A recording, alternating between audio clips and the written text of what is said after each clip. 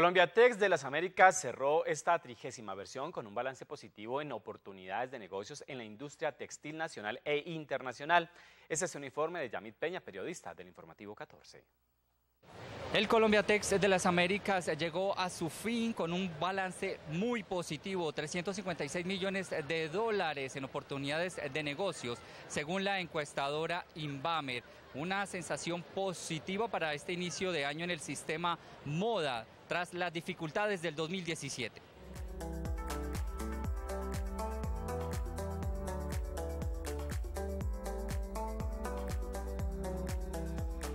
Los 30 años de Inexmoda celebraron a su vez 30 ediciones ininterrumpidas de Colombia Tex de las Américas, la feria alrededor de los insumos, maquinaria y textiles para la confección más importante de la región, que reafirmó su compromiso con la industria y cerró con un positivo balance en expectativas de negocios, relaciones de primer nivel y posicionamiento para las marcas.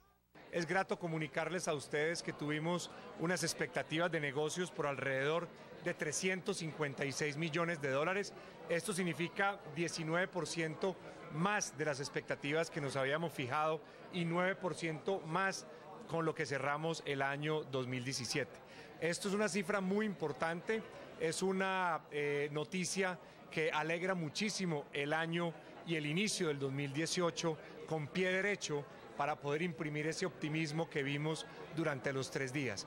Colombia Tex de las Américas reunió a 579 expositores en la muestra comercial, 60% nacionales, principalmente de Antioquia, Cundinamarca y Valle del Cauca, con una participación respectiva del 50%, 40% y 4%, y un 40% internacionales, principalmente de Brasil, India y España, con una participación respectiva del 21%, 19% y 10%. En el frente de compradores asistieron cerca de 14.023 compradores de más de 60 países, destacando el interés comercial de Antioquia, Cundinamarca y Valle del Cauca a nivel nacional, con una participación respectiva del 69%, 13% y 4%, y a nivel internacional, Ecuador, México y Estados Unidos, con una participación respectiva del 28%, 10% y 8%.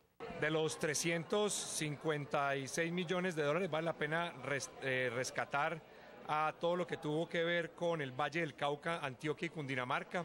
Alrededor del 4% de estos expositores son de esta área del país e igualmente en materia de, negocios se resaltan igualmente estas categorías o estos países eh, con una énfasis muy importante en Colombia con regiones como Cundinamarca, Antioquia y Valle del Cauca. Por otro lado, los empresarios colombianos están muy optimistas teniendo en cuenta el acuerdo de complementación económica entre Colombia y Brasil, que les permitirá unas mejores relaciones comerciales entre los dos países. Aprovechando el acuerdo de complementación económica, el ACE 72, eh, que se profundizó y entró en materia ya en vigencia en diciembre de 2017, creo que los empresarios están muy optimistas eh, en términos de relaciones comerciales entre Brasil y Colombia.